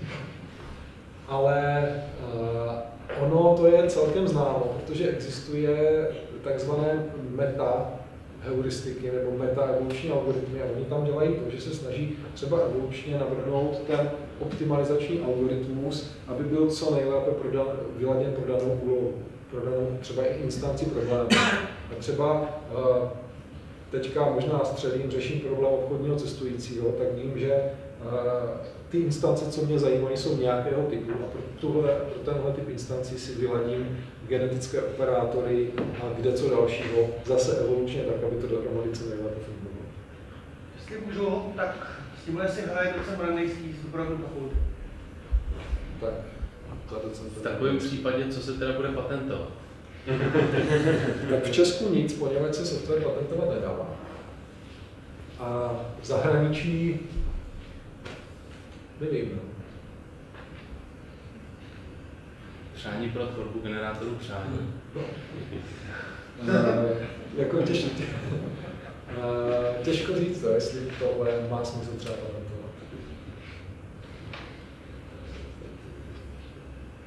patentovat. Vy jste mluvil o těch filtrech, které teda připouští nějakou chybu v rámci nižší spotřeby, tak jste tam zmínil uh, třetící sítě. Tam už byly docela dávno dokázané nějaký spodní meze a, a jste říkal, že tam vypouštíte některý teda z těch Eh, z těch prohození. Eh, to jste pustili nějak náhodně pár z těch, pár z těch prohození, nebo jste udělali nějakou analýzu a dá se nějak dokázat kvalitu toho třídění? To jsme právě udělali to evoluci. My jsme udělali to, že jsme řekli, víme, že když chceme uh, řadit třeba 9 prvků, potřebuje ta řadící síť, nebo ta mediánová, která se očeše, protože není potřeba zařadit všech 9, ale jenom dostat ten prostředek, tak víme, že minimum je třeba 30 komponentů. A teďka jsme řekli, ať evoluce najde co nejlepší řešení, když má dispozici jenom 28, a když má dispozici jenom 26, a když má dispozici jenom 25. A to je typicky úloha, která se velmi těžko řeší člověku, protože člověk má nějakou, eh, řekněme, teoretickou nebo matematickou představu, jak by se to mělo řešit. To znamená, to řazení se převede na hidden else, udělá se řadící síť. Ale když mu dáte omezení, že může použít maximálně 15 komponent, tak co s tím teď? A to je uvědomme si u těch filtrů uh, filtrace pomocí mediálu. Proč těch nelinárních filtrů, a to jsou nelinární filtrů, nelinární filtry existuje tak relativně málo? Protože člověk neumí vymyslet dost ne, nelinárních funkcí, které mu intuitivně dávají nějaký smysl. Proto máme nějaký mediány, máme nějaký váhovaný mediány, ale moc dalšího tam toho není.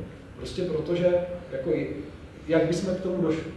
tam si myslím, že prostor u zrovna těch nelineárních systémů pro ten evoluční design, protože ten může kombinovat kde co s kde čím. A ty kombinace některé mohou být velmi zajímavé, ale ty jsou principiálně mimo možnost toho konvenčního designu. ještě zajímalo jestli si myslíte, že by někdy v dohlední době šlo tady tyhle ty věci aplikovat ne na digitální, ale na, na analogové obvody.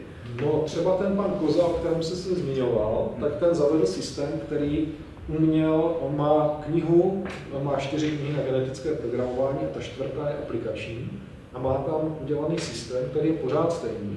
Dodává jsem akorát jiný simulátor, buď to je to simulátor chemických systémů, optických systémů, a, ne, a nebo těch analogových obvodů.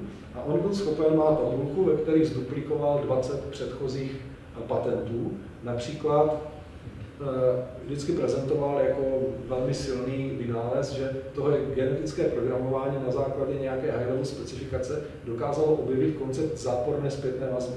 Protože to se objevilo až, jako to nebylo hnedka ten princip záporné zpětné vazby v těch kontrolérech, v těch regulátorech. To se, na to se přišlo ta zpětná vazba až někdy s Wienerem, nebo já nevím. A ten systém to byl schopen na to přijít sám od sebe, že něco takového je užitečné. A on má x takových obvodů, o kterých řekl, tohle je úplně přesně ta konstrukce, která byla analogových obvodů, prostě zesilovačů, nebo obvodů, které třeba počítají x na třetí ze zadaného signálu, který byly patentovaný, po případě on říká, že umí i některý vylepšit. A ti kritici mu říkali, to je pěkný, ale ty vaše obory, které se navrhl evolucí, tam potřebují odpor, který má hodnotu 1,395 ohmů a indukčnost prostě s přesně definovanými hodnotami, to znamená, nedá se to vyrobit a když se to vyrobí, tak to nebude fungovat. No ale pak byla dizertace člověka, který se jmenuje Trent McAfee, který dneska, který dělal v Bal- Kanaděn dělali v Belgii pod člověkem, který je velmi známý v CAT komunitě přes ty analogové obory. A Petře, jak on se jmenuje? Uh, Gilles Satelli, nebo nějak tak? Nevím. Já, bych, já, bych... já se nechytám, to se omlouvám. Já, to bychom dohledali velmi rychle. A on dělal dizertaci na to, jak pomocí genetického programování, a já jsem tady vůbec nezmínil jednu obrovskou sílu těch evolučních algoritmů, a to je uh, více kriteriální optimalizace. My tady uh, negenerujeme, nebo ne, nemusíme generovat čistě jedno řešení jako výsledek té evoluce, ale generujeme něco, čemu říkáme Pareto fronta, která ukazuje nejlepší řešení mezi několika vzájemně konfliktními uh, požadavky. A on ukázal, jak právě ty analogové obory je možné automatizovaně generovat tak, že výsledek je ta Pareto fronta, to znamená řada kompromisů, a současně je tam celá řada omezení, tak aby ty obory se daly vyrobit. A on má, on je nějaký uh, šéf nebo zakladatel firmy Solido Automation se to jmenuje, která je v Kanadě a dělá, živí se designem analogových oborů. A zřejmě tam taky to někde používají, když to samozřejmě neřeknu. No, takže analogové obvody, lepší výsledky jsme byli než s těmi digitálními dřív v literatuře. Protože u těch digitálních to končilo vždycky, když se dělala kombinační logika, aritmetika na těch 15 stupech, možná 20. To, co my jsme udělali, tak to, to byl posun podle mě. A pak se dělaly takové digitální obvody, které mají tu vlastnost, že nemají 100% funkčnost, jako jsou ty filtry, ale prostě na určitých testovacích datech no, trénovacích datech fungují poměrně dobře a hledá se tam kompromis třeba mezi kvalitou zpracování a plochou na čipu, filtry, rozpoznávání, nebo třeba vylepšování strategií paměti cache tak, aby pro daný program ta cache co nejvíc fungovala. To znamená, jak třeba vybírat řádky v paměti cache, ta funkce, a jak ji dynamicky měnit s programem, tak aby to dobře fungovalo. Takže takové různé návrhy byly ale je těžké se prostě dostat do té komunity těch opravdových designérů, protože oni tomu moc nevěří a jsou. To bude, to bude zajímavý, že prostě na, nakonec to dopadne tak, že prostě vývoj, že, že vývoj, vývojář zadá programu, že jo, může použít, můžeš použít transformátor od power diodu a pustí na to ten software a potom z toho třeba vypadne spínaný zdroj. Jo. No, u těch analogových obvodů a ještě u těch antén, třeba pokud se nemýlím, tak typicky u těch antén se ty evoluční algoritmy používají hodně, že? pro nastavování, pro, pro para, v těch parametrů těch antén. A je to proto, a zase bych nechtěl moc kecat, že návrh antén je mnohem větší magie než návrh digitálních obvodů. A návrh analogových obvodů je taky větší magie než návrh digitálních obvodů. Takže tam je potřeba ta zkušenost toho designéra, která vede k tomu, že ty obvody jsou velmi dobrý a, a je tam celá řada lidí, kteří to neumí asi pořádně dělat a tudíž ten evoluční design tam může zafungovat. Jestli můžu nepatrnou poznámku k tomu souhlas, nesouhlas, že? Eh, já bych neřekl, že to, tak určitě je to větší magie, ale určitě u toho analogu se bude počítat líp Tam to, u toho digitálního to buď funguje nebo nefunguje, že? Typicky to děláš teď s tím satem. Když to u toho analogového, tam se to dá hm, de facto ta fitness nějakým způsobem počítat, měřit spojitě. Skoro funguje, no. Skoro funguje. To je, to je, to je obdob, obdobný případ jako u těch filtrů, kdy zkrátka u toho analogu to ověřuješ na nějaké eh, podmnožině všech možných kombinací. Jasně. U těch filtrů to taky ověřuješ na podmnožině všech možných kombinací, které ten filtr může vidět. Pro, prostě proto, že to se to dělá tak u těch analogů, teda mimochodem, když se třeba navrhuje něco jako pásmová propust, že se vezme frekvenční charakteristika, ideální, kterou chceme, frekvenční charakteristika, kterou získá, se, se vyrobí z toho a, kandidátního řešení, pak se to po jednotlivých frekvencích a, roz, rozseká a spočítají se odchylky v těch jednotlivých bodech a nějak se to pováží. A tak se zhruba snažíme se minimalizovat vzdálenost mezi těmi dvěma charakteristikami. Je, je to složitější, ale je to spojitější. To je to spojení. Jaká je úspěšnost evolučního algoritmu v závislosti na kvalitě trénovací množiny? To znamená na tom, jaká je věrohodnost trénovací množiny, množství a tak dále. To závisí strašně na problému. Můžeme udělat x studií, třeba my jsme dělali studii na téma, když chceme evolučně navrhovat ty obrazové filtry, tak je chceme navrhovat co nejrychleji a tam se nabízí zmenšovat ten trénovací obrázek. Jo. A můžeme mít 256 x 256, 128 x 128 a proč ne, proč ne třeba 16 x 16 pixelů. No ale ukáže se, že teda ten filtr se najde nějak, ale pak když se on měří na těch testovacích datech, tak na evolučně navržené z toho malého obrázku není schopný generalizovat a je to obdobně jako u neuronových sítích. Takže uh, typická úloha, co se tam řeší, jaká je rozumně velká trénovací množina uh, pro danou úlohu, abychom našli potom pro ty testovací data solidní řešení. A je to intuitivní, Je exaktní. Uh, asi, asi u těch filtrů to je tak, že čím víc těch, ten, ten obrázek tam je, tak tím by to mělo být lepší, ale zase to zabere víc času, takže se spíš hledá ještě kompromis. Myslel se za kvantifikovat kvalita. To, to, to je vzhledem k tomu, že všechno je povoleno při konstrukci těch filtrů, tak tam jako si myslím, že se to musí jedině zkoušet a neodhadneme to nějak rozumně. Já mám dotaz, když jste tam dělal ten příklad s těma obrázky, s těma filtrama, tak když ta testovací sada bude moc velká, nestane se po dostatečně dlouhé době, ten algoritmus genetický bude vytvářet filtr, který nebude generalizovat, ale spíš bude pamatovat tu sadu. To je možné, to se může stát něco podobného jako u neuronových sítích. A, a no, jak, jak se brání, No, tomu se dá bránit tak, že se třeba snažíte udržovat diverzitu v té populaci.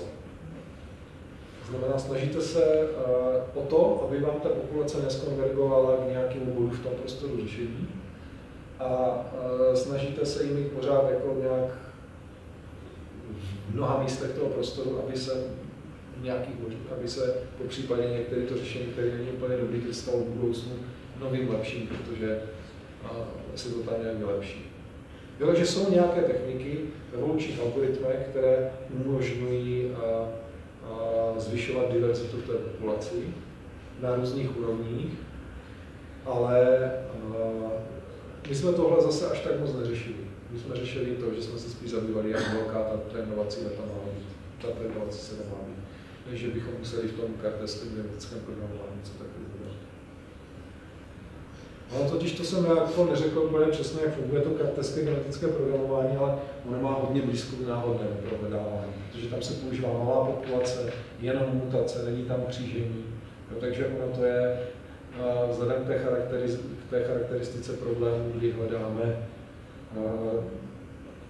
jako kdy ideální u těch evolučních algoritmů, když udělám, pak to funguje dobře, když, když mám ten genotyp a udělám tam malou změnu, tak ta malá změna se projeví malou změnou ve fitness těch řešení. Ale v okamžiku, kdy já dělám malou změnu na úrovni toho genotypu, tak typicky ten digitální obvod dělá pak úplně něco jiného a je velká změna ve fitness. Tenhle typ problémů eh, je právě obtížný pro ty evoluční algoritmy.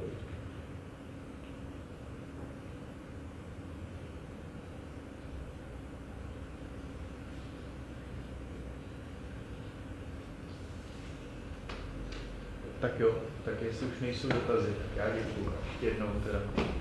Prosím o Tak já vám děkuji za pozornost.